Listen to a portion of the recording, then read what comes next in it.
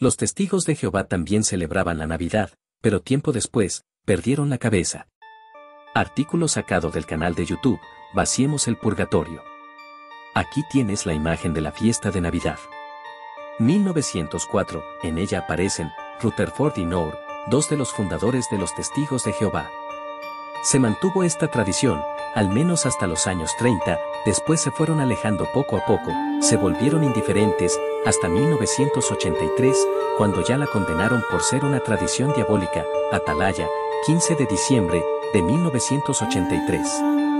No olvides darle me gusta al video y suscribirte al canal por si aún no lo has hecho.